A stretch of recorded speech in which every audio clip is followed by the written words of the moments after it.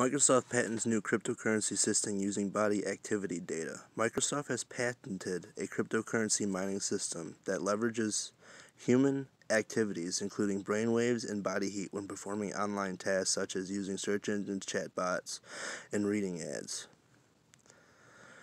Microsoft Technology Licensing, the licensing arm of Microsoft Corporation, has been granted an international patent for a cryptocurrency system using body activity data. The patent was published by the World Intellectual Property Organization on March 26th. The application was filed on June 20th of last year. Human body activity associated with a task provided to a user may be used in a mining process of cryptocurrency system.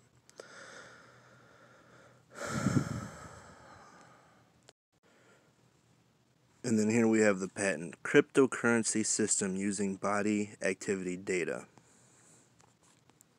Human body activity associated with the task provided to a user may be used in the mining process of cryptocurrency system.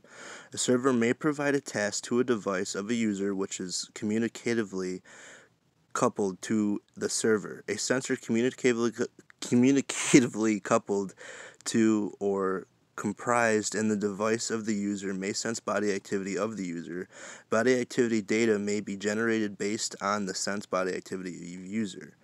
The cryptocurrency system communicatively coupled to the device of the user may verify if the body activity data satisfies one or more conditions set by the cryptocurrency system and award cryptocurrency to the user whose body activity data is verified